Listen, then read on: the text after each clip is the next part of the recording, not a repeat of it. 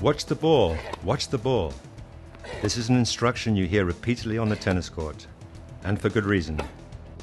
You can have the best body mechanics in the game, but if you do not look at the ball, track the ball in, and really focus on it, as I am here, you will have no success out there. So make up your mind to really zero in on that ball. And when the ball lands, do not let it drop too low. Don't let the ball drop to here, where the ball is dead by the time you hit it and you're surrendering the court. Hit the ball just after the top of the bounce for your basic bread and butter drive.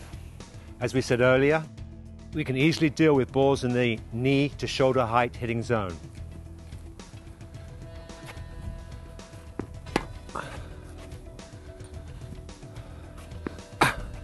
When your opponent is tired or you're forced to weak return, move up to baseline or even a bit inside and hit the ball at the top of the bounce or even before the top of the bounce on the rise.